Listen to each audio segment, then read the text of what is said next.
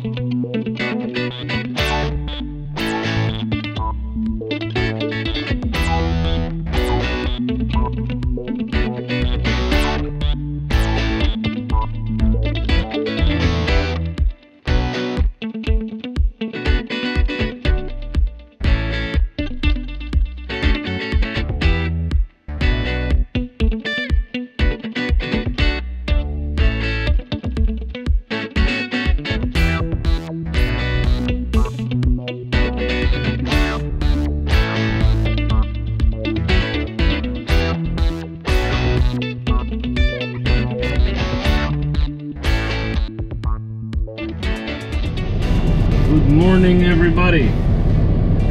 say good morning in sign language?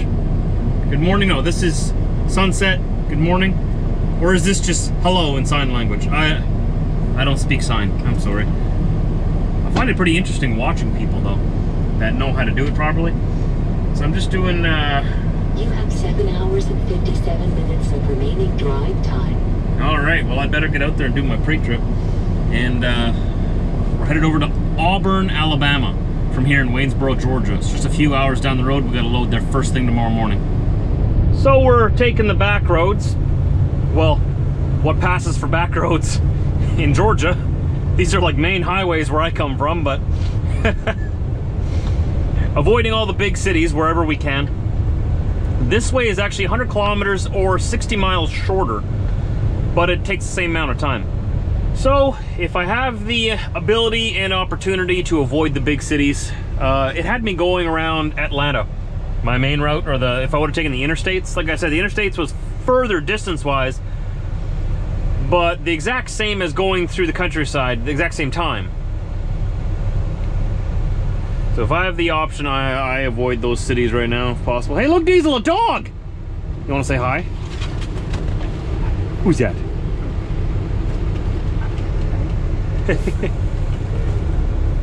okay, come on, establish yourself in the in the intersection. There you go.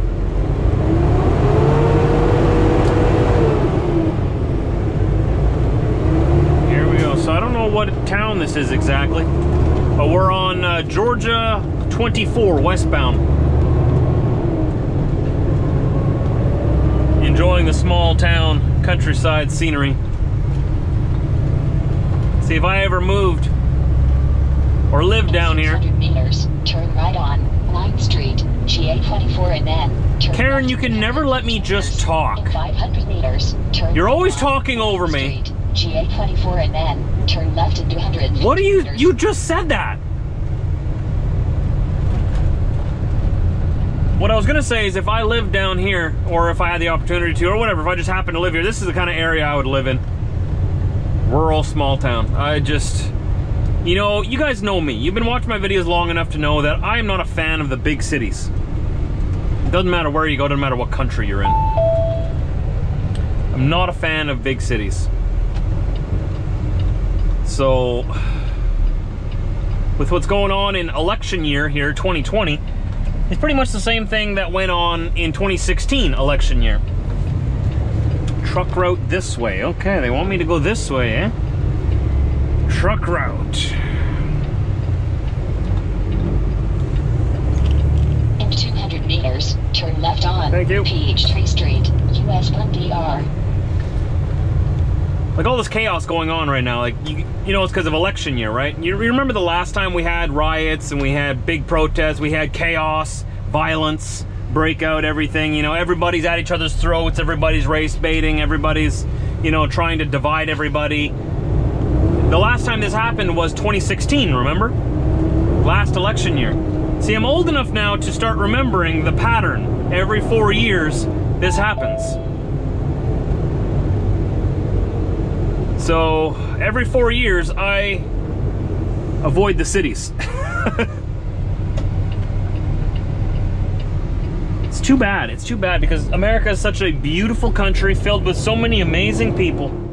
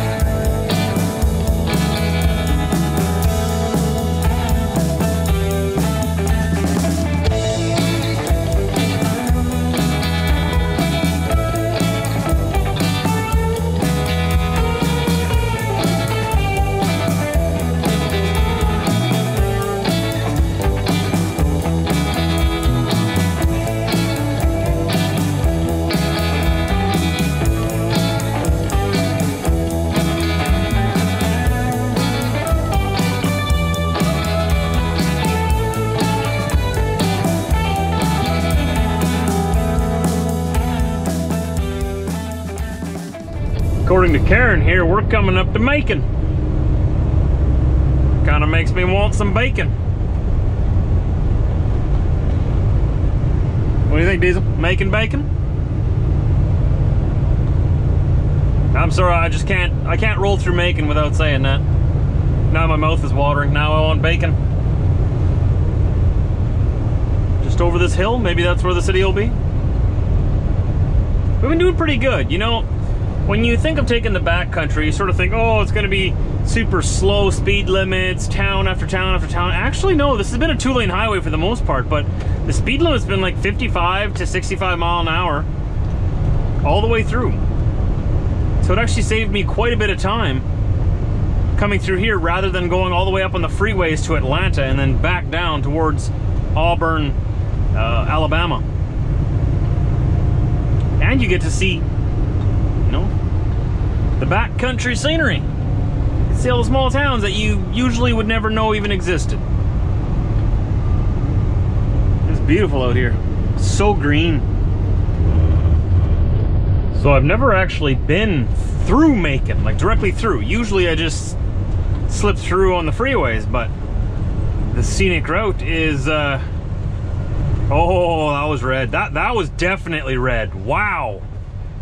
Whoa. Dude. But yeah, we're going right through through the city now. Apparently red lights are suggestions here. okay, so I'm turning on to uh, I-16.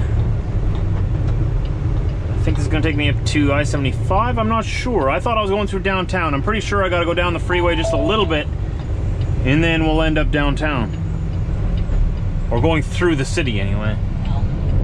Oh, my satellite radio suction cup keeps falling off the window. Every time I stop, I've had to put it back on there. It lasted for like a month, and then suddenly now I can't get it to stay stuck. Guess the maybe it's too hot down here. I don't know. So what we gotta do? We gotta get into the left. We gotta turn left here. Here we go. I-75 south towards Valdosta. In 400 Valdosta. meters, keep to the left on I-75 South. Way ahead of you, Karen. Now, what's going on here? What's going on here? Nobody cut out in front of me. All right. You've chosen your exit, now stick to it. Now you got this car right here. That's a terrible place to park, bud. Terrible place to park. Dude. That's why they make parking on interstates illegal. It's dangerous. But people do it anyway. Whatever. How is it that I know these laws, but so many other people don't? I guess I do it for a living. I mean, I'm, I'm supposed to know these laws, right? Parking on the shoulder of an interstate for anything other than an emergency is illegal for a reason. It, there, there's a law there to prevent people from getting hurt.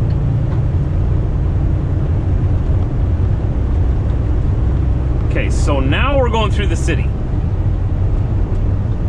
And apparently, Macon is no exception. They're not just making bacon. In 4 kilometers, take US 80G. They're also making lots of construction. Making construction every day. So what, about two miles or so? Always got to shift myself because the transmission on this truck doesn't know what it's doing. That's a solid white line, my friend. Solid white line, but that's okay, I forgive you. I'm not the law in these parts, I just try to follow it.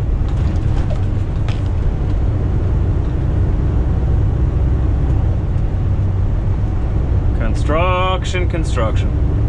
Nothing but construction. Right, Diesel? Always building stuff, which is nice because it gives truck drivers something to do. Another guy parked on their shoulder. No, that van's just ripping up beside me. I couldn't get out of the lane. Minivan late for soccer practice. Again, those minivan drivers. I tell you, I've said it before. The most aggressive drivers on the road drive minivans. I'm sticking to that. What do you think, Diesel? Not getting involved? Fine. I'll speak up. So I thought we were actually going to see some scenery. This is going straight through the city. Apparently they uh, they don't want us to actually see the city. They just want us to get out of here, pass on through and get out of here. No sightseeing for us. Okay. It's kind of nice though in the south how they sort of have uh, like all the trees are sort of built right into the forest. That's different than up north where they just plow down anything that's green and replace it with concrete.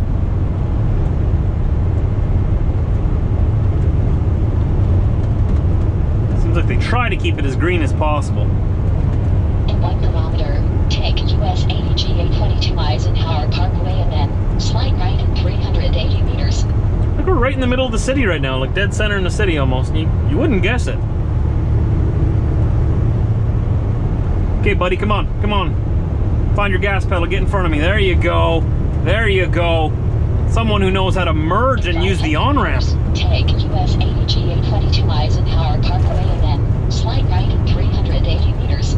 So many people, they, they, they don't know that the on-ramp is meant to get you up to highway speed before you hit the highway. And then they see a big truck coming and they panic and they hit the brakes. And that just messes up everything for everybody.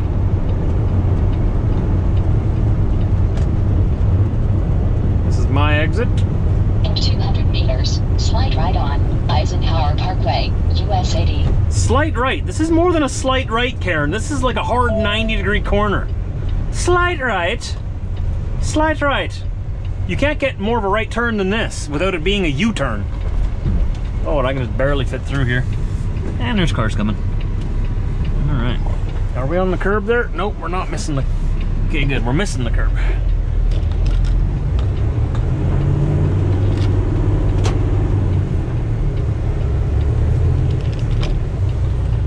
There we go. What are we on now? Continue on this road for 59 kilometers. 59 kilometers. We've got to be getting close to the Alabama state line. Still in Georgia here.